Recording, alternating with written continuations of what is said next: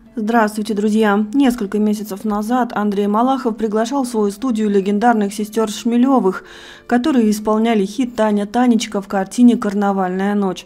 Сегодня телеведущий сообщил о смерти средней сестры Евгении. Последние годы Евгения Шмелева жила вместе с двумя сестрами в московской квартире.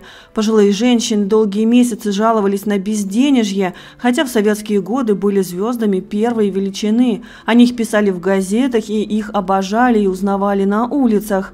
Например, легендарный режиссер Рязанов пригласил их в карнавальную ночь как уже состоявшихся звезд, а вот Людмила Гурченко тогда была всего лишь начинающей актрисой.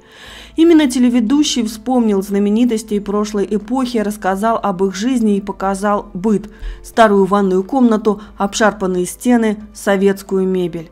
Более того, сестры признались в том, что их судьбы сложились трагически, каждая из них похоронила своего ребенка. Многие думали, что на семью наложено проклятие, потому что их дети не доживали до 35 лет.